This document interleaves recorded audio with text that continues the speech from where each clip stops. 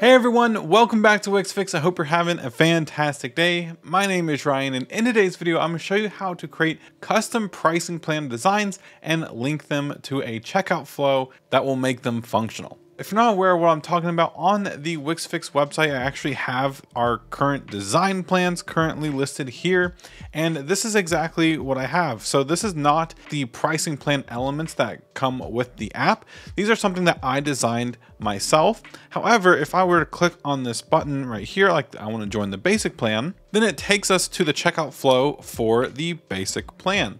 So that's what we're going to be building in today's video. Let's go ahead and get started. So here I am inside of the editor and let's say here on the home page we want to add links to a pricing plan, right? So the first thing we're going to need to do is actually add the pricing plan. So we're going to come over to the app market, we're going to scroll down to Wix pricing plans and we're going to add this to our website. Great, and once it's finished, it's gonna bring us to the pricing plans page. Now, what I want to do first is start by going to manage plans. And once it's open, what we're gonna do is press start now, and we're gonna create three different plans. So right here, we're gonna press create.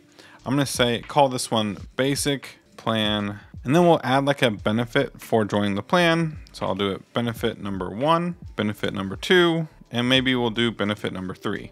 Great. We're going to make sure we set this to reoccurring payment. Maybe this one will be $5 a month. For length of the plan, we're going to say until cancels, and then we can go ahead and press save. Now let's do that two more times for two additional plans. Perfect. So now that we have our plans created, what we can now do is close out. And we're going to switch on over to the home page in the editor, and we're going to scroll down to this section. Now here's where we're going to maybe place our actual content here. So what we're gonna do is I'm actually gonna add a flex box. We can either add a flex box or we can even just split the section into different sections. I do think a flex box would be a little bit better.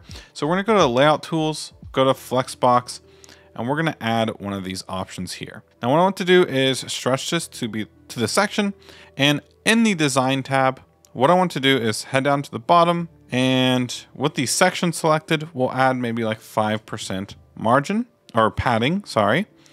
Then with the flex box selected, we'll add a little bit more space in between, maybe like 24 pixels. I think that looks pretty good. And now we can kind of design these to be however we want. For me, what I want to do is I just kind of want to add the plan name, the price, and maybe the benefits. So what I'm going to do is actually add a container. So we'll go to add, quick add, drag this out here. Perfect. We're going to stretch this and we're going to remove the background color. And then we're going to scroll down to the bottom to the margin area and we're going to add maybe like 10% margin. Let's see what that looks like. I think that looks good. So we'll apply that to all sides. Then inside this container, what we're going to do is just simply add a title, send it to the top left, and we'll make the width 100%. Okay, let's copy and paste this title. We'll bring it down. And then last but not least, we'll add a paragraph. So this is going to be the benefits. Okay, I'm going to grab all three of these items and stack them together. For this top one though, I am going to lower it to a heading four. And this one is going to be the plan title. This one is going to be the cost. And then we'll have a list of our benefits below. Great. Now what I want to do is grab the section height and we'll set this to zero. Then I'm going to grab the container holding the stack. I'm going to copy it and I'm to paste it inside of this box here.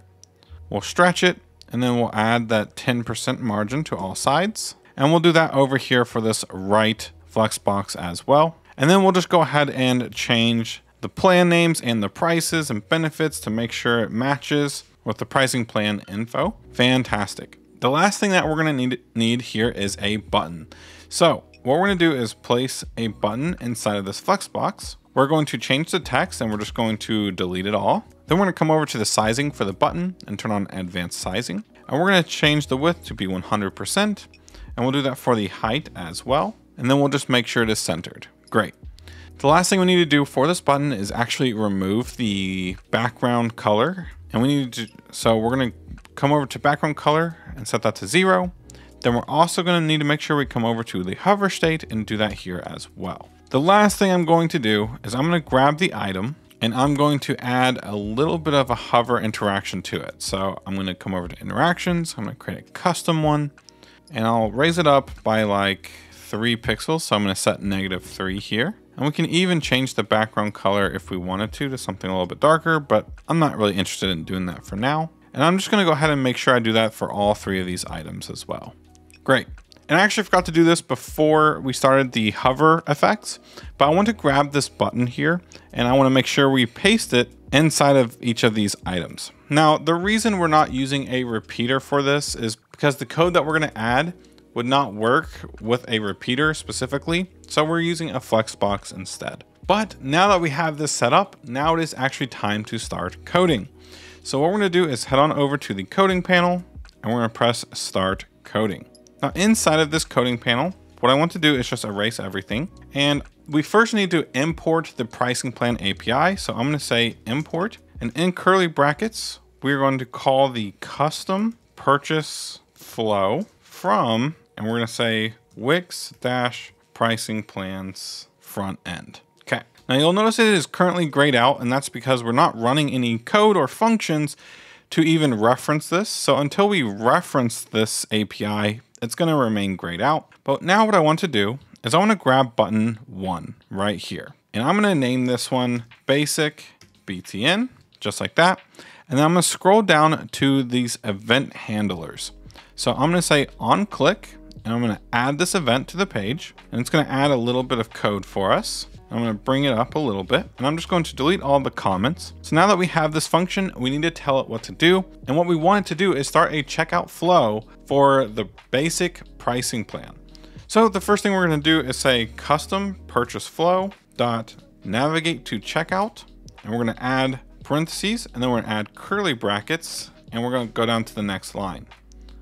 Inside this, we're going to say plan ID and we're going to equal this to and we're going to use the, uh, I forget what this is called. It's like a tilde or something, but it's a, it's typically the button above your tab on your keyboard. So we're going to do this one right here. And what we need to put in here is the plan ID for basic. So how do we get that? Well, what we're going to do is come over to databases. We're going to do paid plans and we're going to open this database here. So we're going to open the collection and all of the plans that we create are going to be inside of this database. So right here, we can see the basic plan. If we scroll to the right, we'll see role ID. So what we're to do is just copy this and we're to close out. And we're just in between these tilde keys, we're going to go ahead and press this. So now if we go ahead and preview the website and I hover over this and click it, it's now going to take us to the checkout page for the basic plan. But now we need to go ahead and do this for the other two pricing plans as well. Now we can't just copy and paste this because event handlers can sometimes be a little bit weird. So I'm just gonna go down a couple lines. I'm gonna grab this button. I'm gonna call this one Pro BTN, and I'm gonna add a, an event handler for this one. Again, I'm going to erase all of the comments. And inside of this, I am going to copy the internal code from the function. I'm just gonna paste it here. Now we do need to change the plan ID because we don't want the Pro button linking to the basic plan checkout. So once again, we're going to open up the plan database. We're going to go to the pro and get this ID for this plan. And we're just going to replace this with the correct plan ID. Now let's do this one more time for VIP. Again, add the event handler and erase the comments. Then we're gonna copy this custom checkout flow or purchase flow. Then we're gonna open up the collection again and grab the VIP role ID and just replace it here. Perfect. So now if we just go ahead and check the website really quickly, we've already checked basic, but we can click on pro to see if it checks out for pro. Perfect. And then if we check VIP, we'll make sure that it checks out for VIP. Awesome. So that's going to be how you create a custom pricing plan design and add a little bit of Velo code to make it functional and start the checkout flow for those pricing plans. But that's basically going to wrap it up for today's video. If you all did enjoy, please consider giving this video a like and subscribing to the channel for more Wix Studio content coming out really soon. Thank you all again, and I will see you on the next one.